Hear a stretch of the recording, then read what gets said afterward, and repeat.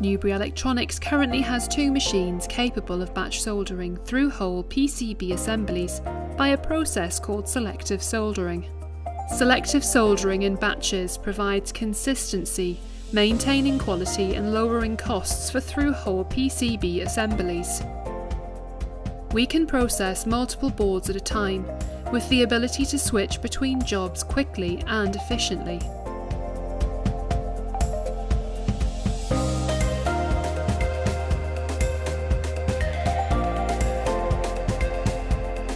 The process starts by spraying flux onto the areas to be soldered.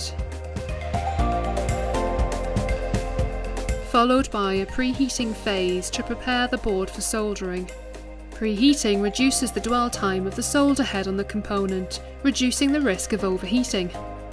This is achieved with lower heating elements and a consistent upper convection heating. Solder is electromagnetically pumped into the solder wave head, and sits in an inert nitrogen shield that eliminates the possibility of dry solder joints.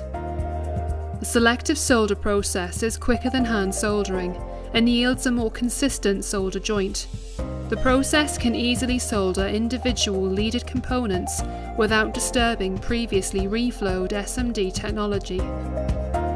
Selective soldering brings a consistent approach, dwell and withdrawal cycle for each joint, making sure the quality and appearance of each joint is consistent whilst not overheating the component.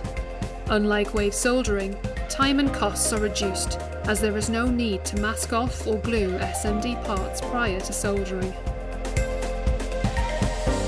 Once the process is finished, there is a quick visual check of each board before moving on to the next stage in our PCBA process.